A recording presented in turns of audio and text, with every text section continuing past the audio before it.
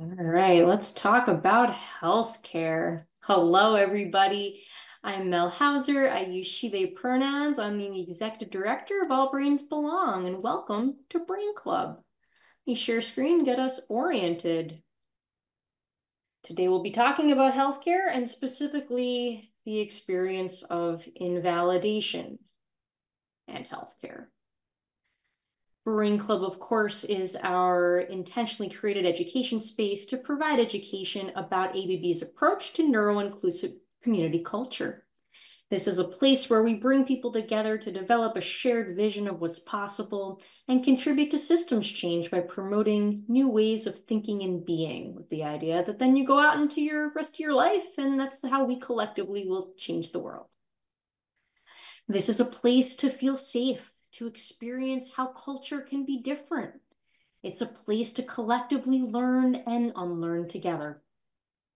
And though All Brains Belong has lots of different types of programs, this one is not for medical or mental health advice. Even though we'll be talking about healthcare tonight, that sometimes gets confusing.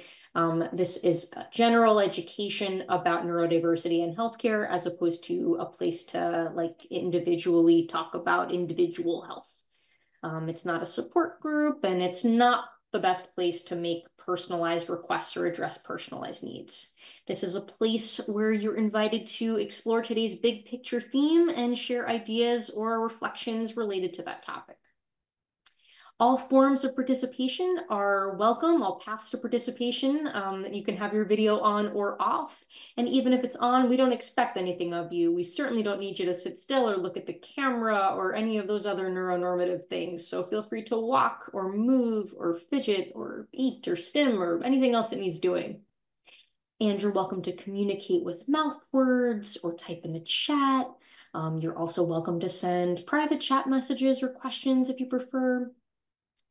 In addition to affirming all aspects of identity, in order to make this safe for all participants, we do prioritize the group's collective needs over that of the individual. And so some of the ways we do that are around being mindful of language used and being mindful of, of access needs.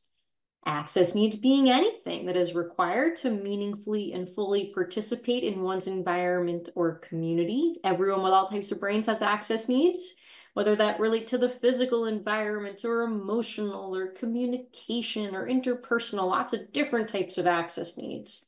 And some of the some of the ones that play out here at Brain Club um, uh, related to communication um, processing time. So we'll, we'll intentionally try to take some pauses today to give give processing time.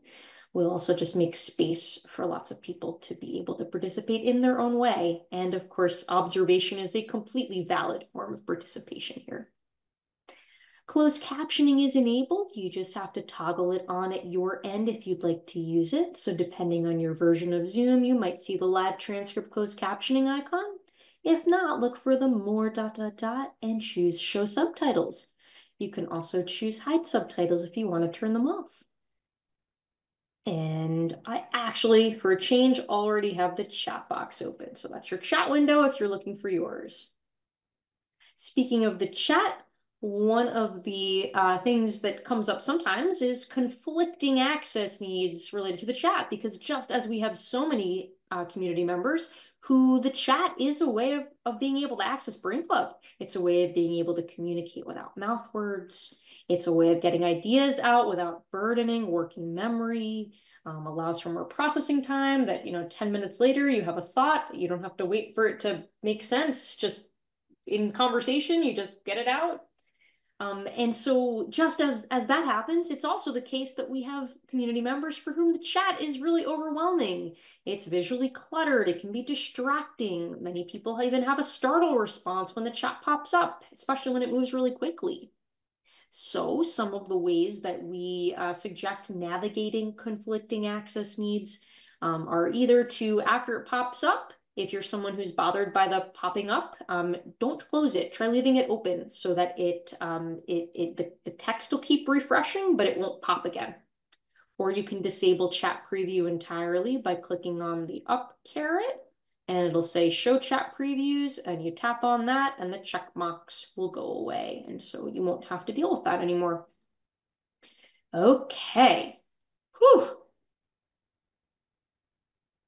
We're continuing our May theme of unpacking internalized ableism. Uh, last week, we had a really rich conversation um, hearing from many of our community members about their experience of internalized ableism um, and the consequences of invalidation um, growing up, uh, particularly as an, uh, a late identified neurodivergent person.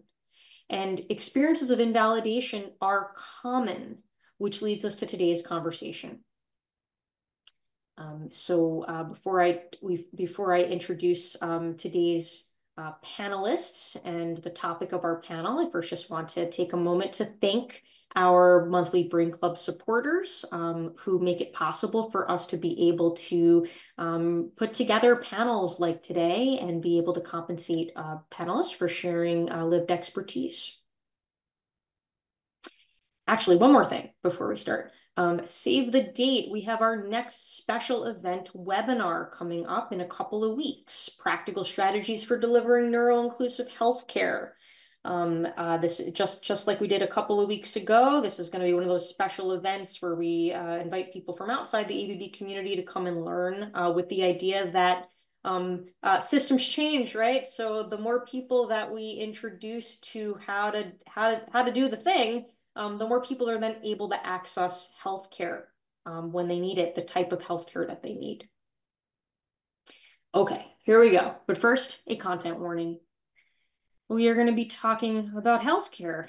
And that for many people, that, that requires a content warning because many people have the experience of distress in healthcare settings, trauma in healthcare settings, ableism in healthcare settings, and uh, post-traumatic stress disorder uh, related to their healthcare experiences. Because what we know is that neurodivergent people often struggle to access healthcare. We know that, you know, specifically uh, related to autistic adults, for example, 80% of autistic adults struggle to access primary care amongst people who already have a primary care practice. 80% they have a doctor, they just can't access the care. Not surprisingly, um, nearly 70% of autistic adults have untreated health problems. And we know that both autistic and ADHD adults die earlier than non-autistic, non-ADHD adults. And we know that um, often medical professionals do not receive the training, the, the knowledge, skills, and attitudes required to be able to provide um, the care that many neurodivergent people need. We also know that autistic and ADHD people are far more likely to experience a constellation of intertwined medical problems related to multiple systems in the body. And much like this picture shows, um, these things are all intertwined. And sometimes some of the standard medical management of some parts of this cluster make the other parts worse, which is why it's really important to zoom out and think about the this constellation, this grouping as a whole, as opposed to fragmenting the body parts in the way that the healthcare system um, so um, commonly drives and that the healthcare system really does get in the way of clinicians being able to take care of the whole the whole person within a 10 minute visit.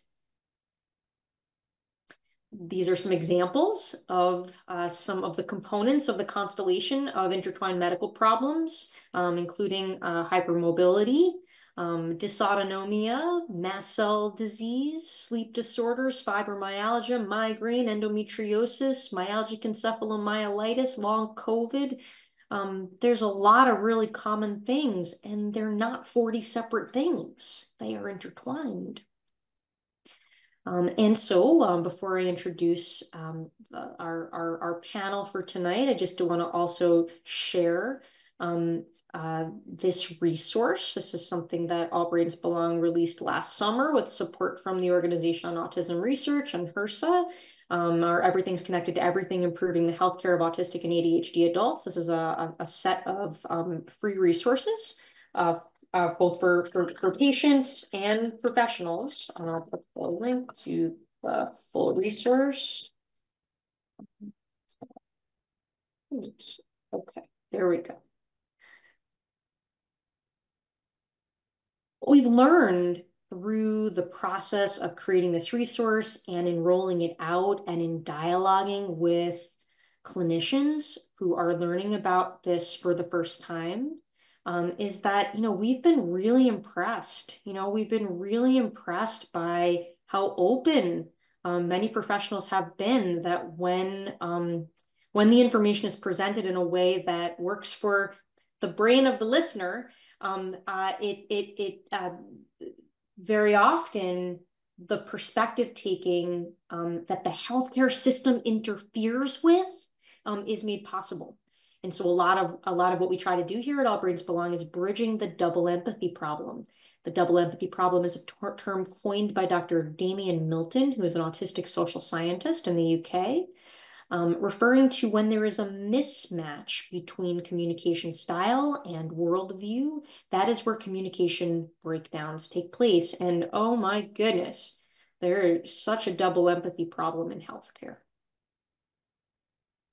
So tonight we're going to be revisiting some brain clubs of yesteryear. Uh, we're going to be integrating um, some uh, some of our past community panels um, of clinicians and um, non-clinician community members um, to, to really directly try to bridge the double empathy problem, right? So we've got clinician perspectives, patient perspectives, and um, it is it is it is our hope that we can um, then then then have a discussion about some of the themes that emerge. Um, and so uh, thank you to our panelists, uh, Dr. Laura Bujold, Cass Eckley, Synthesis Graham, Sarah Knudsen, Matthew LaFleur, Dr. Tim Lishnak, Sierra Miller, Amy Noyes, Linda Riddle, Dr. Gabe Warzella, and Zeph. So with that, David, take it away.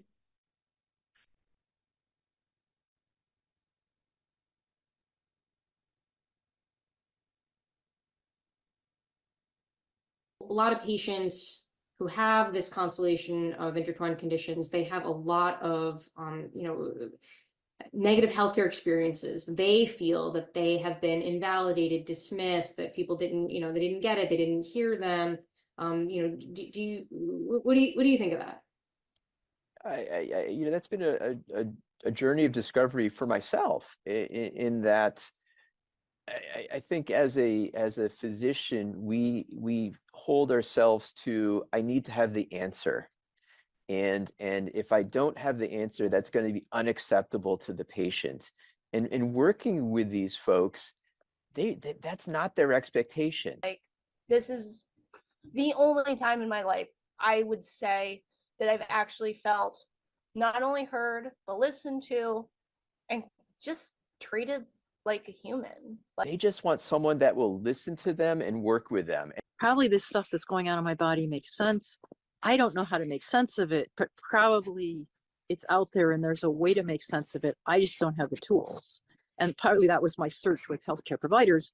But then the more healthcare providers I went to, the more I began to doubt whether that knowing was possible. And hmm. I didn't feel confident like they got what was going on in my body the ways that I would try to express that did not register for them as concerns, or they just do a test and it wouldn't show much in, in a medical sense, and that would be the end of it. One of the things that I've been thinking about, this is like a brand new thought that came to me today. I was meeting, I'm, I'm working with this research group that is um, looking at autistic people with with basically with all the things with multiple chronic health yeah. conditions that are intertwined and it's a it's a qualitative study of like they're telling like the, the participants all like told their story and it was like content analysis of their narratives which is super cool.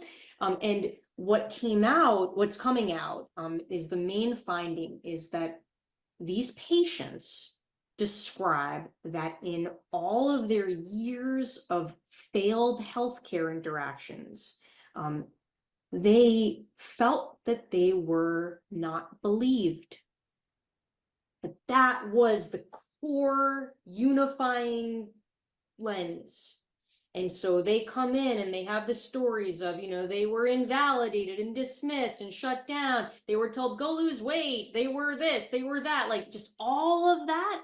And it's really interesting because uh, when I hear these stories from my patients, um, which is like almost all of my patients tell that story when they come as new patients for the first time, like it's um, I can see where the stories as they tell them, um, that that maybe um how do I say this? Like someone else might not have experienced that as invalidation or dismissal. But these patients, especially these late identified neurodivergent adults, they have been invalidated and dismissed and shamed by so many people in their lives. And so they come in and doctor says, um, you know, well, your tests are normal. And now it's this trauma response, which I think is a unique barrier to healthcare access and engagement that I don't know. I don't, I certainly didn't get taught that in medical school. What do you, what do you? nobody believes you. And then there are different levels of that in, you know, well, you look at it wrong, or you couldn't possibly know yourself because you're this subgroup or that subgroup. And then there are the ones where, well, they, everybody looks fine, so it has to be fine. And I found that a lot as a parent that I would know something was wrong, but my kids didn't look disabled. Oh, they looked cute and perfect and just the right amount of chubby. But no, no, I'm just one of those moms. Yes, the difficulty healthcare system for me was the physicians of trying to understand my complexity of my learning knowledge and how I learn and how can they adapt to my learning.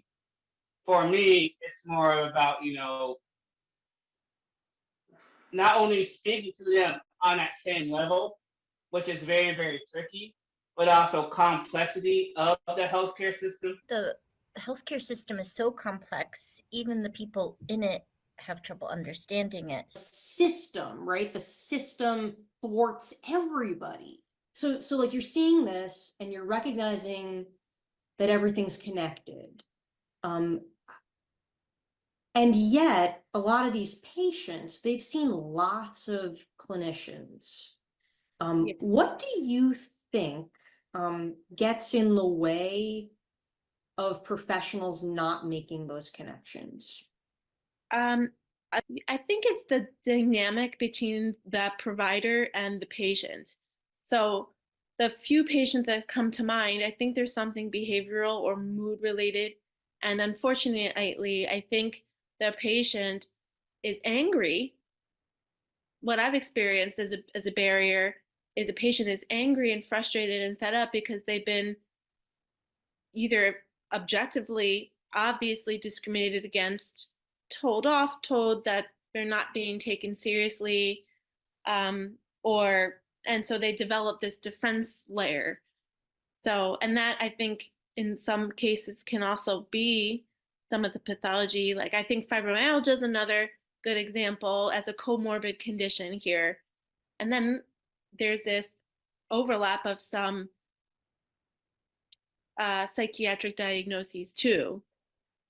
oh, I'm probably a bit jaded when it comes to the healthcare uh, community. I'll be a bit honest, just because of all the years of, I do feel like I wasn't listened to. I feel like in some ways, it's there's still very much kind of like, you know, the hysterical woman or AFAB stereotype. Some doctors just they don't want to listen. They go, oh, well, you're a woman presenting. Have you perchance thought it's just, you know, anxiety?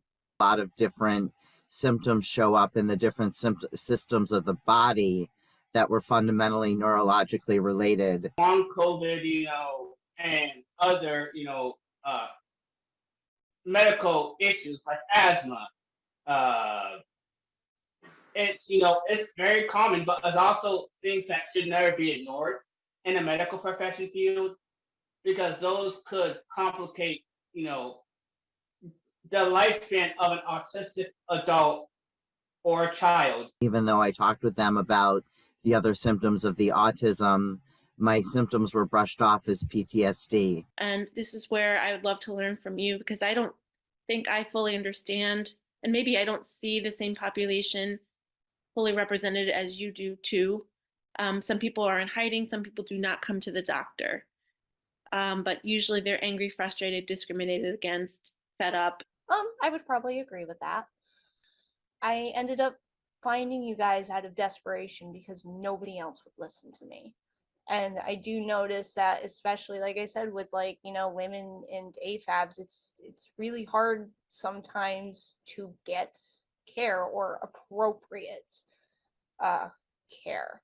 I think about neurodivergent nervous systems and, you know, all neurodivergent folks are a very heterogeneous group, of course, but when I think about um, like even sensory processing, like the sensory systems um, that are either taking in more information than other people or less information than other people, an energy system, I think um, the the neuroception system, the threat detection system, there are a lot of people who are extra sensitive to threat. And it's like acquired trauma physiology, um, that hypervigilance, that like looking. So, so, so if I'm someone who has hypersensitive neuroception and I enter a healthcare encounter, there's going to be something that someone's going to say or do that is i'm more likely to experience as threat because of these cues from the environment my lived experience the the the the, the vibe I can just feel when I walk in. I don't know if it's a safe space for me being neurodivergent, but I also don't know if it's a safe space because of the way that I'm going to be treated and and disregarded in terms of like just go lose weight. Still wasn't happy with my care. Um, I have been dealing with chronic pain I would say consistently. I mean, it's been intermittent my whole life, but it really became, I would say, a staple. I think I was probably 22, 23.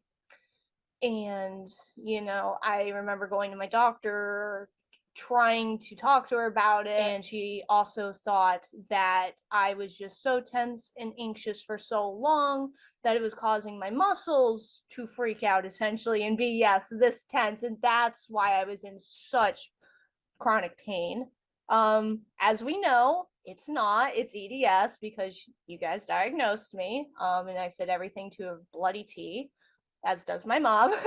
so I was like, literally, when we were doing the checklist, I was like, well, this really does explain a lot, especially since it really is all the things. you know you're you're bringing up the barriers that happen um like the barriers to access while they're there so Yeah. the you know the, the the but but there's so many barriers that even prevent them from getting there so you must pick up the phone to become an to, to become a new you know to make an appointment you Yeah. the executive functioning of like all the all, all those pieces too Yes. um and you know you mentioned trauma you know all these people with healthcare trauma it's like well i made the appointment but i'm going to cancel it last minute because like my limbic system tells me that it's not safe to come back to this place I have medical PTSD.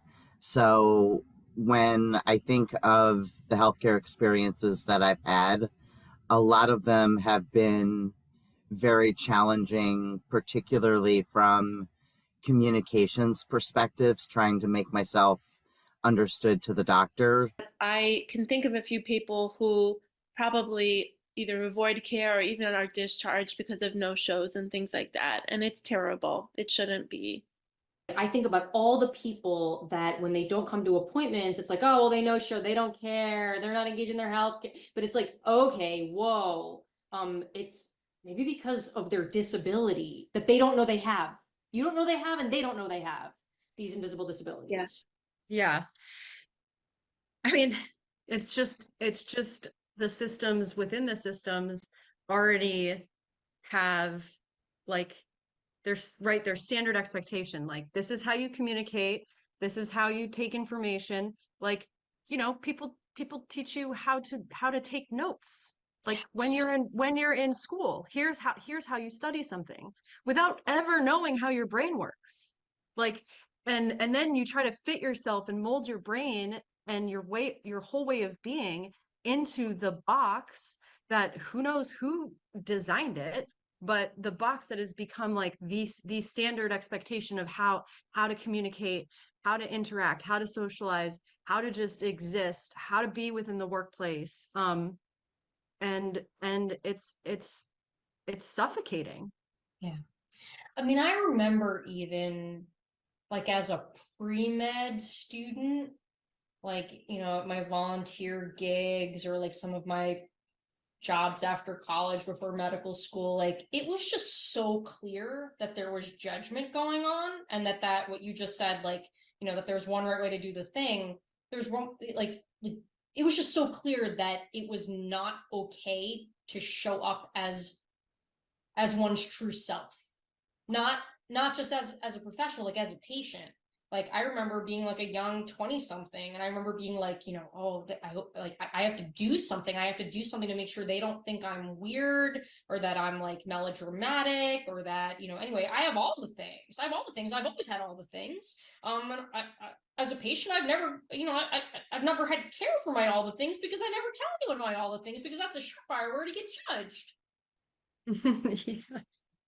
When you think about your experiences trying to access healthcare, what comes to mind? It's very hard to access health healthcare. I think it's hard in general. I think our system is broken um, for pretty much everyone. But the amount of additional layers that come when you have you know and in, in a way any type of disability just it, it makes it truly a monumental problem I think systemic ableism is like so embedded in medical training and and and practice. Act in this way, communicate in this way, or you will go unheard. Yes. Like you have to you have to communicate a certain way or or you you won't be heard and not everybody can make that adjustment and so those are the those are the people that are staying away from healthcare because it's overwhelming or confusing or un- uncomfortable or unsafe to Yeah. I see. I feel like I say that so commonly. Like, if if I'm talking to somebody about like being in a pre-diabetic range, and before I even say anything, they start with, "But I eat well, and I've been struggling with my weight in my entire life," and like preface it with like, "I'm doing all the things.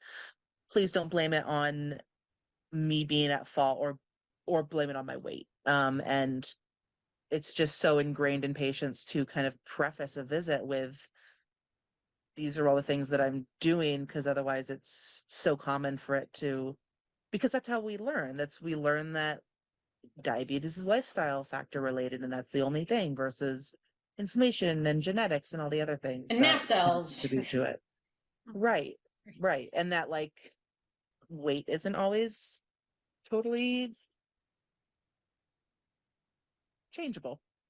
Well, it's also that like I mean I mean this is this is like such a bigger picture like so not only is there a right way to be a person but but like the message that there's a right way to be healthy too and like so you know when you think about like all of the anti-fat bias and shaming that goes on in the healthcare system i mean it starts in childhood i mean it's just it's Yeah. it's so bad I'm terrified to go. I, I think there's a lot of assumptions being a fat person. And um, so like if I go get my um blood pressure checked or something like that, there's this like quality of, oh, I can't believe that you have normal blood pressure. Like the, just like the things that people are saying to me, you know, I just recently had a routine mammogram and like what was said to me during that appointment was incredibly inappropriate.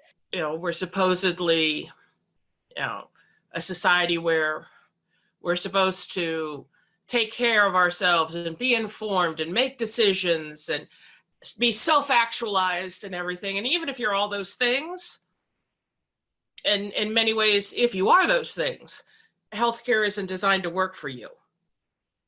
You know it's sort of designed for you show up and they send you places and put you in little cubbies and folders. And if you actually are like "Eh, no uh this that that doesn't actually affect me. This over here affects me.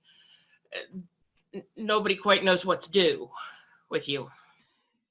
Doctors i don't think are really taught how to work with patients who don't fit the the expectations of you know what the profile is they're trained to make decisions in a very specific way they need to in order to be really good with their time um, because nobody else lives in your body but you Right.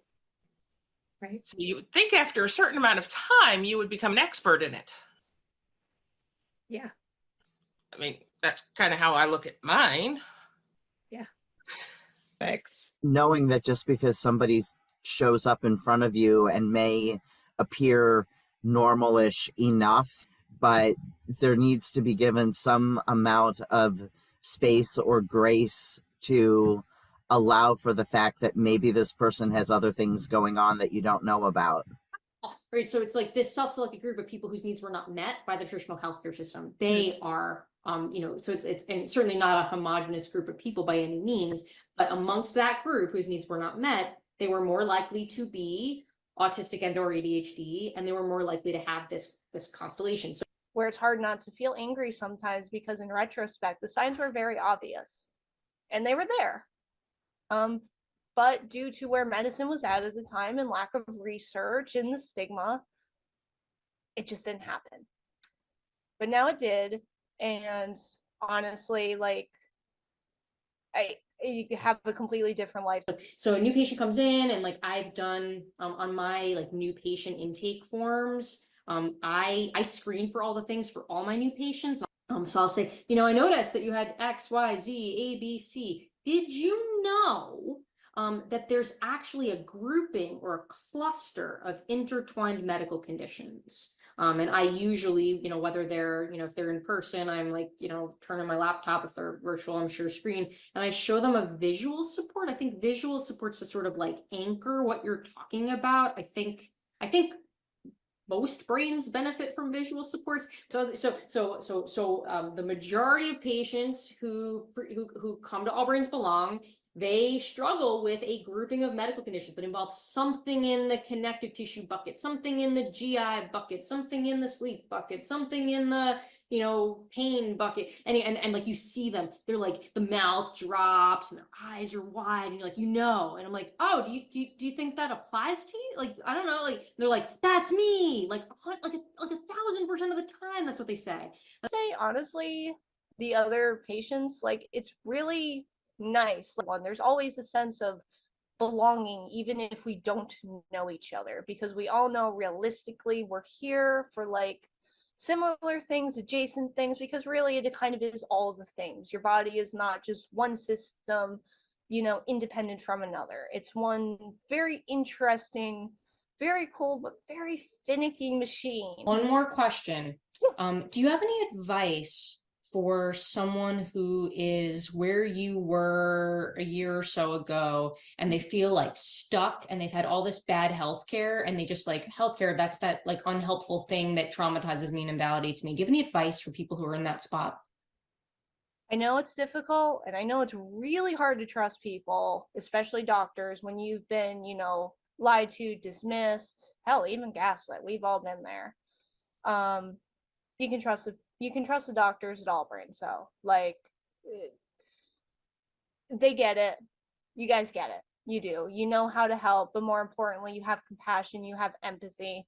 And honestly, I find that that is missing in a lot of bedsides, in doctors, in nurse practitioners, in our healthcare community. And I think just knowing that you guys get it and you're willing to listen and will help, I think even if somebody is very, very reticent about reaching out, this is your sign. It's worth it. It's also my cat, so there you go. The cat, the cat is in agreement. I wonder if you have any advice for people who are in a place of struggle and they they don't know what's possible, of course, because they've never seen it. What do you say to people who don't feel don't don't don't necessarily feel safe enough to try something different. Don't have to, you know, whether that be like, you know, uh, trying a group medical visit, trying brain club, like trying, because you don't trust other people. Why would I want to be around other people? Other people suck. That's been my experience. I get the the terror and the pain of hope. In a medical system that treats you like a problem and treats you like you're making stuff up and treats you like yeah, a problem instead of a person. The best I can offer for someone who has been hurt and gaslit and not believed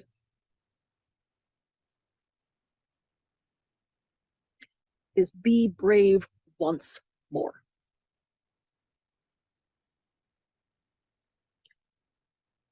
Once more, because you will be believed at All Brains Belong.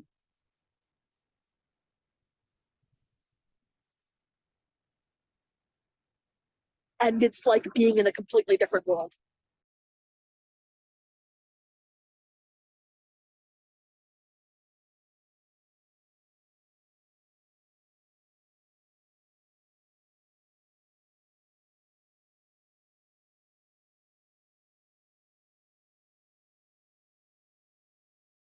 I heard you saying. No sound. It's me not being able No to sound. generate. It's just me not being able to generate sound. It's me like opening my mouth and having a hard time getting my words out. Um, that last video clip was, it gets me every time.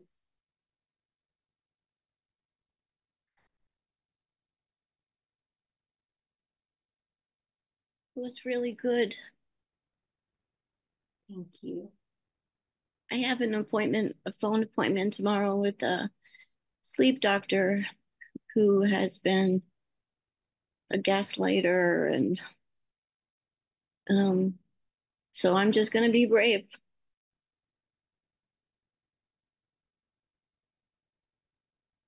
Oh,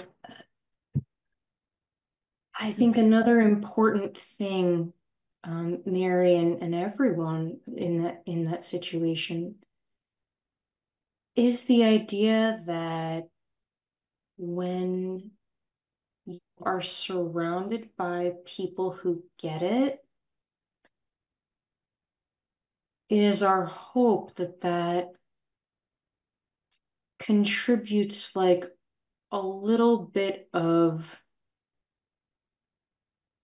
not complete protection, but like a little protection emotionally from when you're in a situation and someone says something that is invalidating and dismissive, when you can recognize that your truth is exactly the way you know it to be, that is a very different place from um, a place where dismissive comments lead to people questioning their own reality. Yeah, and um what she what what that doctor's the first doctor with the long blonde hair, which she said about that people kind of have some anger, you know, and I think that I did, you know, I'm 59 and um I I am angry and I can my first thought was, okay, I'm gonna go unmasked and just, you know, I'm like a verbal Viking. so, but that, you know, because I should just fire him, you know, but I don't know, but that's not productive. So what I've started to say is, thank you for helping me with this one thing. I know I'm a complicated patient. You know, I have everything. And um, so I haven't really figured out. And I thought about getting my partner to sit there with me because I know the research shows that if there's a man in the room, that women get better treatment. So I just have him on the call.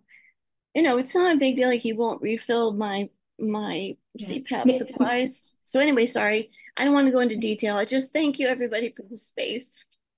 Yeah. Yeah, Mary, you're not alone. There's so many people who've been in this situation.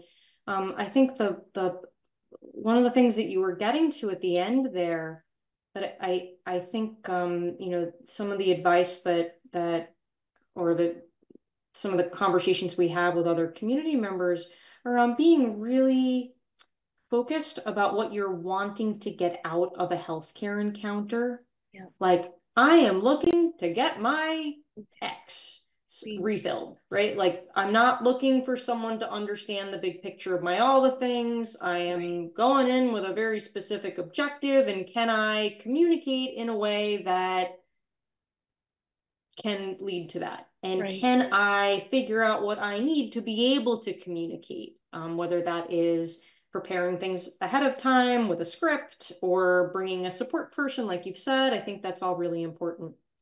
Yeah. Thanks, Mary. Uh, thank you. And and I first heard of you on Annie Crow's um podcast where she was talking Oh, that's about awesome. Annie Annie Crow's Yeah. coming live here next week is our special Great. guest next week. that's Um, so- great. That's that's great. Where she she said about going to the doctor how she doesn't know what details are important, so she gives all the details.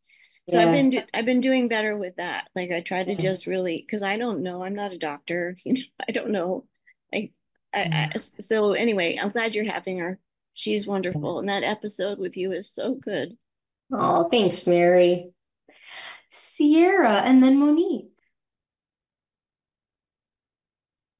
Um, I I just wanted to, I think, basically bounce off what you said, Mary. I think that there's, well, I think a lot of times when when I'm talking to other clinicians, people think, oh, I just, you know, I don't have these people in my practice. I don't have adult autistic patients in my practice, and um, I think that from both the clinician end, but also from the patient end, like people don't people don't know what what you can ask for and what you can need and what your access needs might be or what accommodations might be available. Because if if we've never been offered them, we're not going to know them. Um, and so the more people who, you know, are able to and have the tools to be able to do that in in provider settings, I think it really it makes it it makes it more feasible for everybody. Um, it's just how how showing up as your authentic self can really make a huge difference. I think not having an official diagnosis makes me feel less confident about that. I know that's I just anyway, if anybody ever knows of somebody who can diagnose women in New England, I'm in Massachusetts and my appointment tomorrow is at Mass Eye and Ear. But anyway, I just keep waiting to hear word of mouth that there's somebody who can diagnose women who are high masking and all the things. Okay. Thank you, Yay. everybody. D- Does anybody else struggle with anger? Like, like I, Ma- I Ma- Ma- really Ma- get Mary, I do, I just need to, so I need to angry. redirect you just because someone else has been waiting Oh, to. I'm to so sorry. Let me. That's okay. Let Thank me. you. Uh, Yeah, no, that's okay. Thanks. Monique.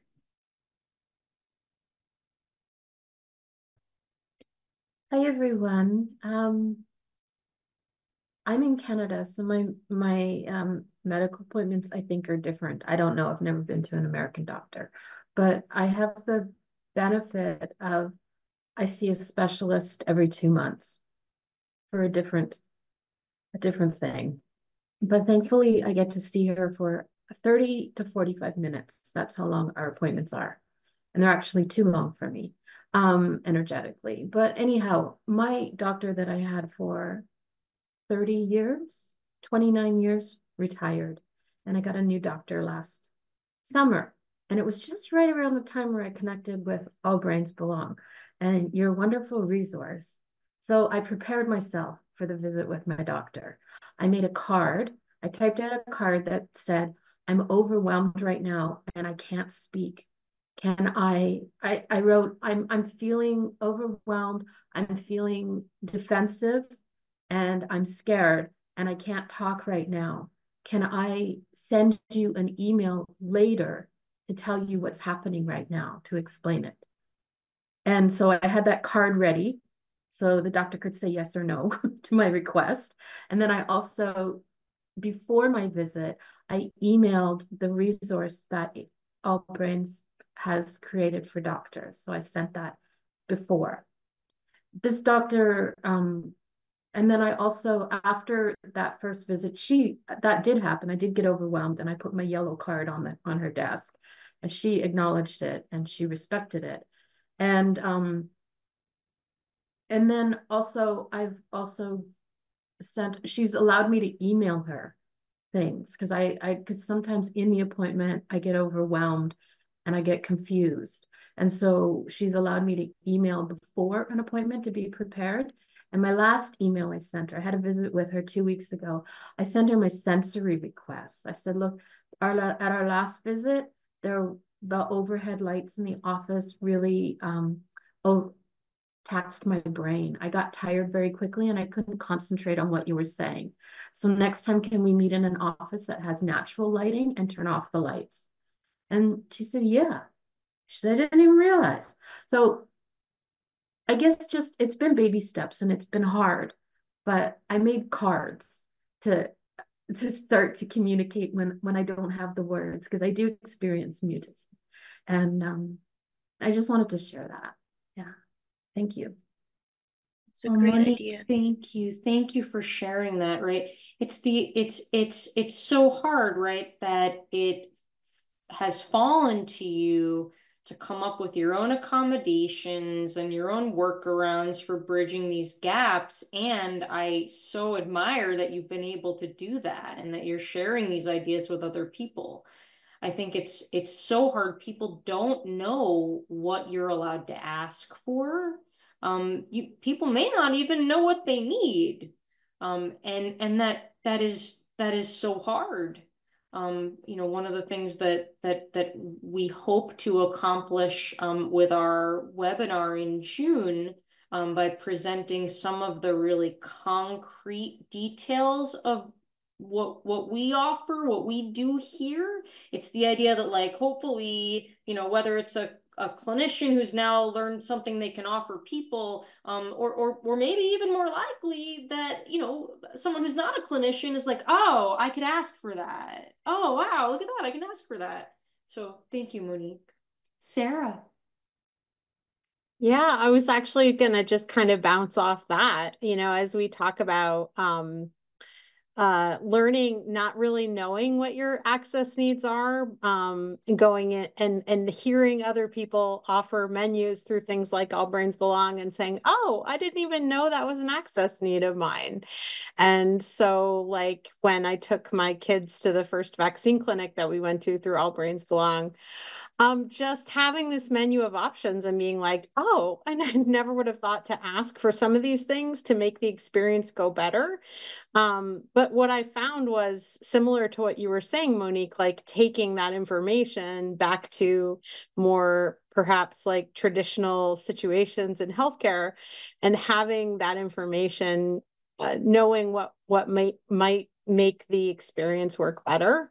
Um, and so bringing tools ourselves or knowing to ask for those things uh, to make it a better experience. And I, I feel like at Brain Club, that's what this is about is like learning from other people, hearing about, you know, other people's experiences. And I do feel like um, it sort of gives me strength to go back to my regular life and like have that information and know that like there's a lot of other people who would benefit from having these menus of of options. Um, we had a recent um, experience adventure as a family, and I was telling Mel about um, previewing and like the idea of previewing something ahead of time. So seeing pictures of where we're going to, and then even actually driving to the place and seeing it in person and kind of walking around and checking it out. And I never knew that that was an access need of mine. And it was only through my children that I was like, oh, this is really helpful for them. Oh, wait, I think this might have actually always been helpful for me. And I've always kind of done it, but not really known that there were words for it and so um so yeah i think that you know just being having the experience of knowing that there are options for things and that there are a lot of other people who have also struggled to have their needs met and are trying to figure out what their access needs are and having language to go with that you know has really been helpful for me and my family as well. Sharing that sarah.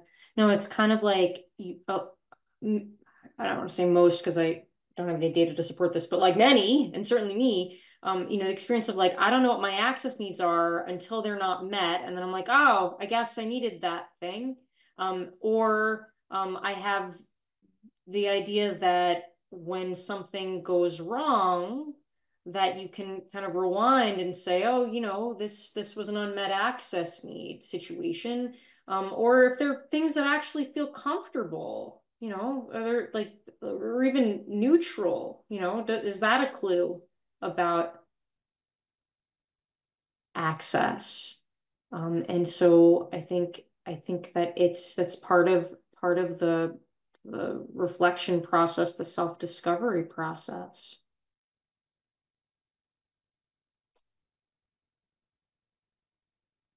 Pause and give space. Uh, David.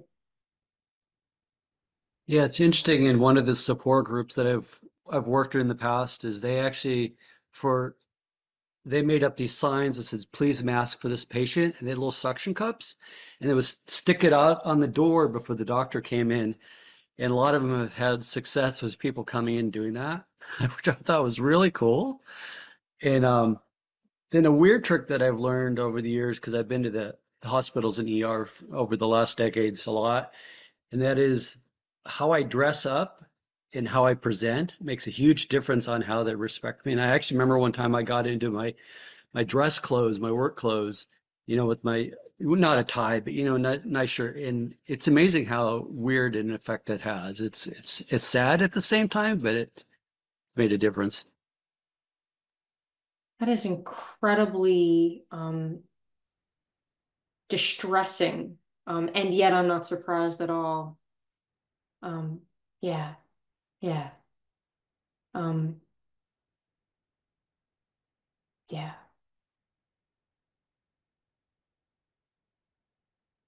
I just want to pause to create some some space for anyone who hasn't had a chance to share either in the chat or out loud.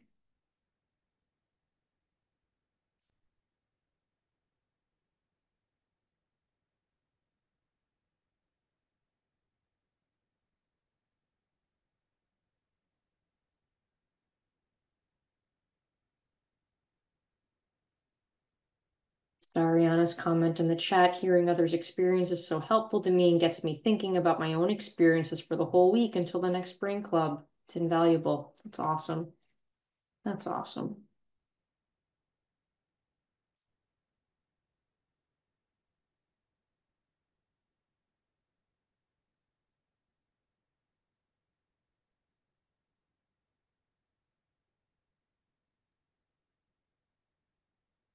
Heather, can you tell us about, Heather's asking about, about visible. I don't know about that. Hello, everybody. Um, so it, basically it's a heart rate uh, variability monitor. Um, it's by the, the Polar Verity people or the is the actual device, but it's connected to this app and it was developed by some people that um, had chronic fatigue syndrome, um, among you know long covid i think were like the main things that it was developed for but you know people with all the things um, definitely qualify for this as well.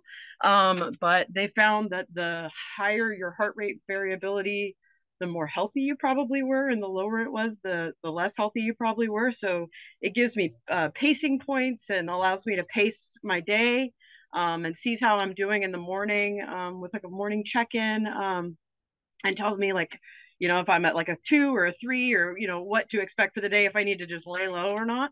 Um, and then the last thing that is that i really think is cool is it, it symptom tracks. So i can go through it and put like you know i had at night i go through and tell them about how my day was um, essentially and then it has like a functional capacity thing every month as well and that you can like blast it all into a pdf after 30 days and it tracks everything. It's really really really cool Really cool. Thank you for sharing that. You know, one of the things that um that by the way, when when if you go to the Everything's Connected to Everything, Improving the Healthcare of Autistic and ADHD Adults project, the All the Things project, you see that there's a there's a, a choice. Um, actually, I mean, I can let me give you I can give you a tour. I think I meant to do that and then I forgot, you know, brain. Um, what I was going to say about that is it's freely available. Um, so whether you're a clinician or not, you have access to the clinician resources. Um, and so one of the things that you'll find on the clinician guide um, is it talks about the different components of all the things and and some of the ways that, that we approach this. And um, what you just heard about with, with pacing, activity pacing and avoiding post-exertional malaise um, ends up being like a really, really important and not optional part of managing all of things. Um, the other thing I want to show you about this is if you come to the individual and community member side, you'll see this um, bring this letter. So you can print this out bring this to your primary care clinician at your next appointment and just hand it. Um, we have found, we've gotten feedback that it works the best when you let the letter attempt to bridge the double empathy problem for you. It's a letter that was very intentionally written um, in language that primary care clinicians are used to receiving. It was peer reviewed by primary care clinicians in the traditional environment who didn't previously know about this project. Um, so we, we've gotten really good feedback that this, this letter, when used as a tool, not a whole bunch of other stuff printed out, not a whole bunch of other information, just as a standalone tool, um, I, I uh, that that that's how we would recommend using it.